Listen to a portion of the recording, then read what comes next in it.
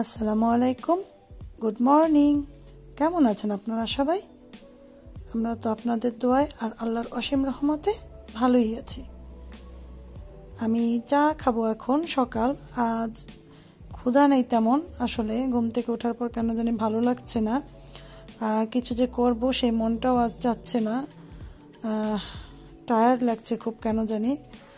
তো শুধুমাত্র একটু ইয়োগার্ড নিয়েছি। আর একটু সিরিয়াল গ্রানুলা এটা নিব।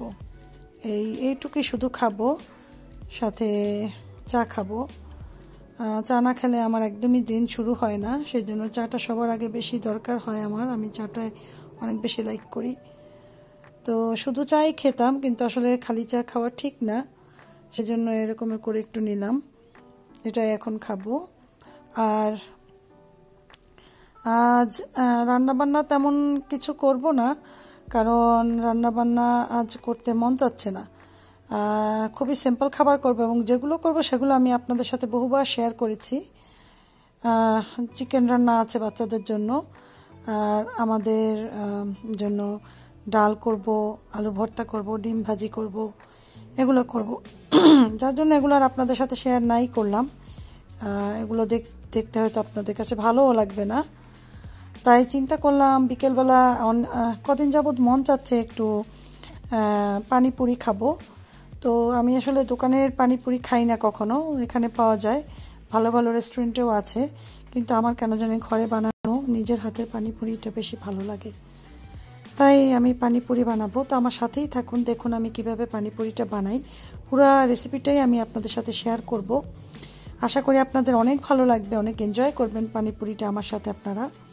তো দেখতে থাকুন, আমি আগে নাস্তাটা শেষ করে নিই, এরপর আমি পানিপুরি বানাতে যাব। আর এই পানিপুরি বানাতে যেগুলো লাগে সবই আপনারা ভালোভাবে দেখে নেবেন। আর এভাবে যদি করে খান, অনেক মজা পাবেন। তো চাটা খাচ্ছি আমি। এই যে চলে এলাম পানিপুরি বানাতে, এখন বিকেল মানে সন্ধ্যা। তো এখানে নিয়েছি আমি পুদিনা পাতা। পুদিনা পাতাটা আমি ফ্রোজেন করে রেখেছিলাম। তো ওখান থেকে কিছু পুদিনা পাতা নিয়েছি।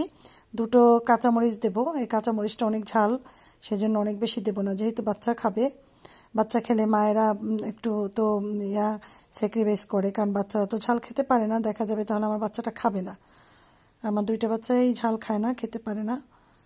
তো এগুলো সবই একসাথে আর ধনিয়া পাতা নিয়েছি দিয়ে এক কাপ পানি দিয়ে দিয়েছি। এখন এটাকে আমি একটু এয়া দেব, এই যে বিট লবণ। তো আমি আমাদের জন্য বিট লবণ এনেছিল আমি বলেছিলাম গুঁড়োটা নিয়ে আসতে, কিন্তু আস্তটা নিয়ে এসেছে। যাই হোক, কোনো অসুবিধা নাই, আমি একটু গুঁড়ো করে নেব। তো গুঁড়ো করে নিলেই হয়, কিন্তু একটু ঝামেলা হয়, আসলে পাউডারটা থাকলে বেশি সুবিধা হয়। তো আসলে যে দোকানে গিয়েছিল, সেখানে হয়তো পাউডারটা পাইনি। সেজন্য আস্তটাই নিয়ে এসেছিল। আমার বিট লবণটা বাসায় সবসময় রেগুলার থাকে। আমি অনেক কিছুতেই বিট লবণটা ইউজ করি। মানে চাট জাতীয় কোনো কিছু খেতে হলে কিন্তু বিট লবণটা খুব দরকার। আপনি যদি কোনো কিছু ভর্তা করেন, ভর্তা বলতে আম মাখানো বা এই ধরনের কিছু চাট এই বিট লবণ, চাট মশলা দিলে মজা লাগে। তো আমি একটু বিট লবণ দিয়ে দিচ্ছি আন্দাজ মতো। এখন আমি ব্লান্ডার করে নেব। তো এটাও আমি আপনাদের সাথে শেয়ার করলাম। জাস্ট এমনি মন চাইলো যে সবই টুকটাক শেয়ার করে ফেলি। তো এটা খুব ভালোভাবে ব্লান্ড করে নিতে হবে। জগে করলেই বেশি ভালো হয় একটু পানি দিয়ে, তাহলে ভালো ব্লান্ড হয়। যদিও আমি এটা ছেঁকে নেব, সেই জন্য কোনো চিন্তা নেই। বড় জগে দিলে অসুবিধা নেই। তো আমি এটাকে ব্লান্ড করে তারপর আবার সুন্দর করে ছেঁকে নেব।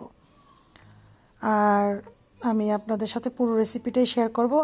আর আমি জানি এটা দেখলে আপনাদের অবশ্যই জিভে পানি চলে আসবে।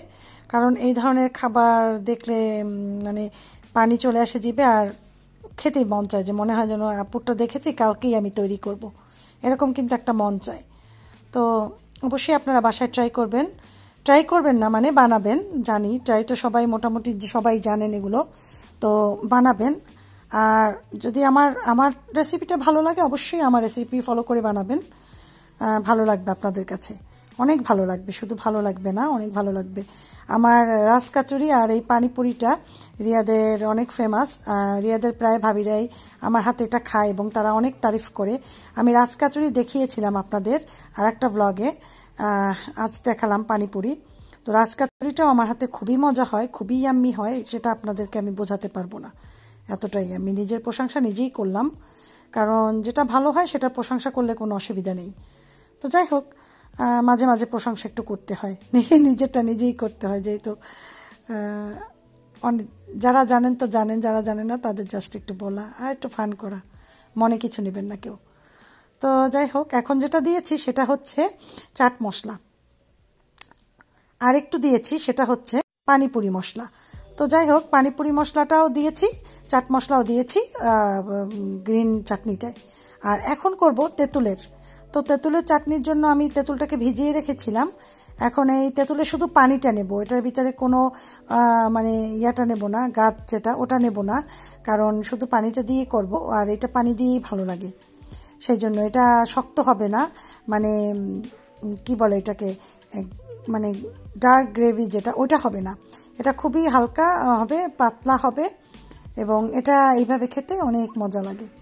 আর যদি আমি এটা রাজকাচুরি করতাম বা অন্য কিছু করতাম, তাহলে এটাকে অনেক ঘন করতাম। তো যাই হোক, এখন আমি ভালোভাবে তেঁতুলের বিচি সহ ছেঁকে নিচ্ছি। তো ছাকা হয়েছে, এই পানিটা বের হয়েছে এটাই আমার যথেষ্ট। তো আমি ছোট ছোট দুইটা লেবু নিয়েছি। আপনারা যদি বড় লেবু দিতে চান, তাহলে একটা লেবু দিয়ে দিবেন। তো লেবুটা আমি কষলে দিচ্ছি। হয়তো অবাক হচ্ছেন, তাই না? যে তেঁতুল টক, আপু আবার লেবু দিল, লেবুর টক, কেন এত টক? আসলে না, এটা এভাবেই ভালো লাগে। আর লেবুটা দিয়েছি, লেবুর একটা ঘ্রাণ আসে। আর লেবুর যে টকটা, এটা তেঁতুলের সাথে মিক্স হয়ে একটু অন্য রকমের চলে আসে। আর এখন আমি দিয়ে দিচ্ছি মরিচের গুঁড়া, আর এটা ছিল বাচ্চাদের যে ইনস্ট্যান্ট নুডলসটা থাকে, ওটার ভিতরে একটা মরিচের গুঁড়া থাকে, ওটা ভাজা মরিচের গুঁড়ো। ওটা দিয়েছে, আর এখন যেটা দিলাম, সেটা হচ্ছে চাট মশলা। হ্যাঁ আর আর দিতে হবে একটু চিনি। আর চাট মশলার ভিতরে যেহেতু সবই দেওয়া আছে, তো আর অন্য কিছু তেমন দেওয়ার দরকার নেই। আর মরিচের গুঁড়ো দিয়েছি, আর চিনি দিলাম, লেবুর রস। এখন দেবো যেটা, সেটা হচ্ছে একটু বিট লবণ। বিট লবণটা দিলে একটা আলাদা ফ্লেভার আসে এবং অনেক ভালো লাগে।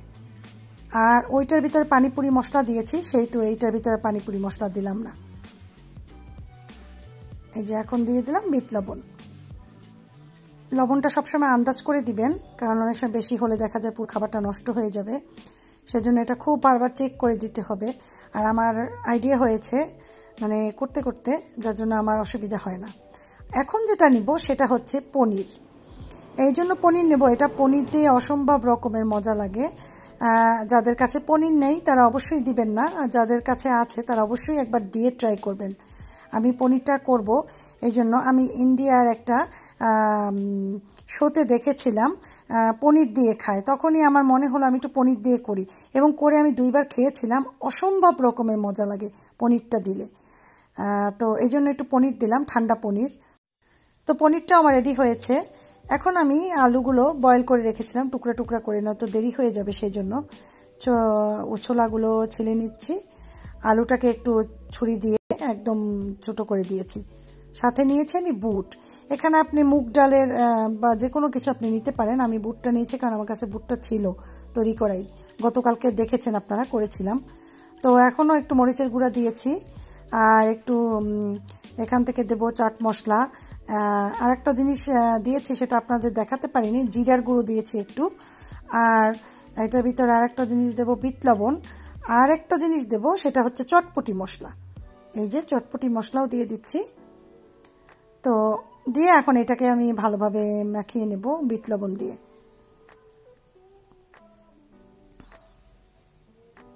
তো বিট লবণটা দিয়ে দিতে গিয়ে দিলাম না, কারণ একটু বেশি দানা দানা। এখন আমি একটু ভালোভাবে এটাকে আরেকটু কি বলে, গুঁড়ো করে নিতি কারণ যেহেতু এটা তো পানি জিনিস না পরে আর গলে যাবে না, সেই জন্য একটু ভালোভাবে গুঁড়ো করে নিলাম। তো দিয়ে দিয়েছি, এখন আমি এটাকে ভালোভাবে মাখাবো।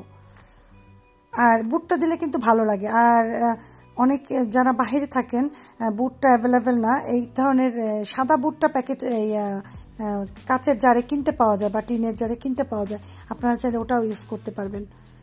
এখন আমি দই নিলাম তিন টেবিল চামচ পরিমাণ। দইটা দিয়েও একটা কি বলে যেটাকে বলে, একটা গ্রেভি বানাবো, একটু চিনি দিয়ে। এটাও দিতে হবে। এগুলো না দিলে ভালো লাগে না খেতে।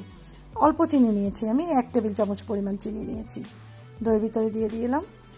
এখন ভালা ভাজা মানে ফুচকা ভাজার ইয়া পালা। তো ফুচকাটা রেডিমেড রেডিমেড কিনতে পাওয়া যায়। তো আমি রেডিমেডটাই কিনেছি।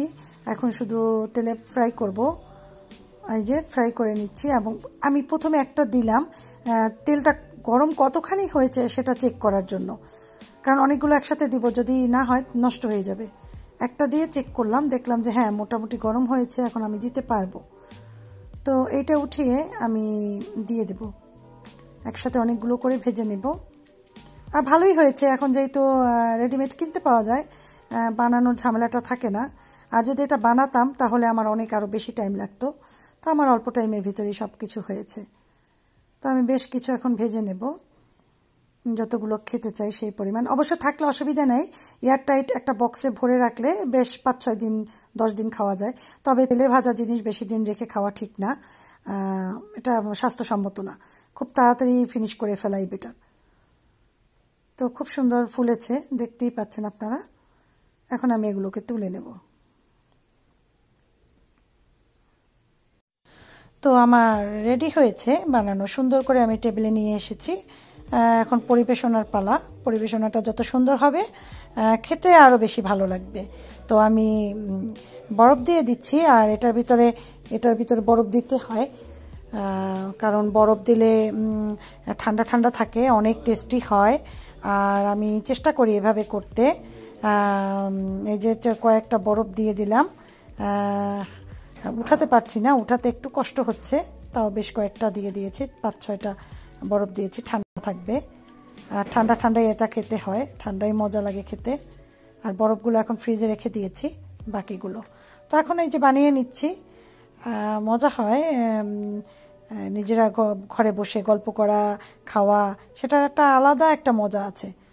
তো আজ অবশ্য খাওয়ার সময় দুইটা ভাবিকে খুব মিস করছি, আমাদের এখানের। তারা ফুচকাটা খুবই লাইক করে, তারা বলে যে ফুচকা এত পছন্দ, বিশেষ করে এক ভাবির মেয়ে আর আর এক ভাবি সে নিজেই খুব পছন্দ করে। তো যাই হোক, তাদের খুব আজকে মিস করলাম। আসলে ওইভাবে প্রিপারেশন নিলে হয়তো তাদেরকে আমি বলতাম। খুব ছোট শর্টকাট এবং ছোটোখাটোর ভিতরে প্রিপারেশনটা নিয়েছি সেই জন্য আর বলিনি। তো আসলে যাই হোক, এখন আমি যখন বাংলাদেশে গিয়েছিলাম, আসার একদিন আগে আমাদের বাসায় বসে আমাদের, আমার মানে আম্মা খেতে চেয়েছিল, আমার মা। তো তাকে আমি তৈরি করে খাইয়েছিলাম সে খুব পছন্দ করেছিল। কারণ দোকানেরটা আসলে খায় না বলে যে অনেক সময় খেলে পেটে ব্যথা হয় বা অনেক সমস্যা হয়। যার জন্য। কিন্তু আমি দেশে যে কোথাও কোনো রাস্তার পাশের গাড়ির থেকেও খাইনি ভয়ে, যদি পেটে পেট খারাপ হয় বা কিছু সেই ভয়ে, কিন্তু যখনই আমি রাস্তায় দেখেছি, আমার এত খেতে ইচ্ছা করছিল তখন, আমি সেটা আপনাদেরকে বোঝাতে পারব না। একদিন শুধু একটা রেস্টুরেন্টের ভিতরে যেয়ে ওখানে ওখানে শুধু ফুচকাই বিক্রি করে, রেস্টুরেন্ট। হ্যাঁ তো সেখানে যে তখন বললাম, অন্যান্য কিছু হয়তো বিক্রি করে, কিন্তু ফুচকাটাই ওইখানে মেইন তো আমি এক প্লেট খেয়েছিলাম, কিন্তু সত্যি কথা নাম বলব না দোকানের, এত বাজে এত বাজে, আমি তখন বলি, আল্লাহ আল্লাহ, এতগুলো টাকা মানুষের কাছ থেকে নেয়, মানুষ কি মজা করে খায়? কারণ তারা হয়তো বাসায় তৈরি করে না, যার জন্য বাসার টেস্ট তারা পায় না। যারা একবার বাসায় তৈরি করে খায়, তারা কখনও রেস্টুরেন্টেরটা খেতে যাবে না। বাসার মজা অন্য রকমের। সেটা যে কত মায়া, আদর দিয়ে করা জিনিসগুলা, কত সুন্দর করে করা। তো যাই হোক, আমি একটু একটু করে সবাইকে দিচ্ছি আর আপনার ভাইকে একটু শ্যুট করলাম যে সে কীভাবে খাচ্ছে তাও একটু আপনাদেরকে দেখাই। সে আবার এই ধরনের খাবার খুব পছন্দ করে, টক টক ঝাল খাবার সে খুব লাইক করে। আর ছোট, ছোটো ছেলেটাও সেই রকমের, টক ঝাল খুব পছন্দ করে। কিন্তু অন্য দুটা একদম পছন্দ করে না। ভুলে আমি আগে চাটনি দিয়ে, দিতে নিয়েছিলাম ছেলেকে। ছেলে বলে, মা, তুমি করছ কি? আগে চাটনি দিচ্ছ কেন? তো এখন আমি বললাম, ও সরি আমি ভুলে গিয়েছিলাম। আসলে কাছে তো সবগুলো খেয়াল থাকে না, কোনটা কি দেবো, কোনটা পরে দেবো। তো যাই হোক, সবাই এনজয় করছে। এখন আপনার ভাইয়া বলল, সবাইকে দিচ্ছ, তুমি কেন খাচ্ছ না? তো আমি বলি হ্যাঁ এই যে আমি এখন খাব। তো এখন আমারটা বানাচ্ছি। আর আসলে যে তৈরি করে বা যে বানিয়ে বানিয়ে সবাইকে দেয় দেখা যায় সে নিজে, নিজের খাওয়ার টাইমটা সে পায় না কখনো। তো এই যে আমি নিলাম। এখন আমি গপ করে মুখের ভিতরে দিয়ে দেব। দেখুন, গপ করে দিয়ে দিয়েছি পুরোটা মুখের ভিতরে। যদিও আপনাদের দেখাতে পারিনি, এখন আবার আপনার ভাইয়াকে আরেকটা করে দেব, ছেলেটাকে দেব। ভালোই লাগে আসলে সবাইকে দিয়ে, পরিবেশন মানে সবাইকে পরিবেশনা করাতে খুব ভালো লাগে। কত যে মজা হয়েছে মানে এটা আমি আপনাদেরকে বোঝাতে পারব না। তো আপনার ভাইয়াকে দিলাম আর একটা আমি আপনার ভাইকে বলে, বলেছি, আসো, একসাথে বানিয়ে খাই, তুমি তোমারটা খাও, সবাই যার যারটা শেষে খাও, মজা করে খাও, তার তার মতো করে নিয়ে আমি দেখিয়ে দিয়েছি, ঠিক এভাবে করে বানিয়ে খাও। তো যাই হোক, আপনারাও এনজয় করলেন, আশা করি। তো আমার ভিডিওটা যাদের ভালো লেগেছে, অবশ্যই কমেন্ট করে জানাবেন।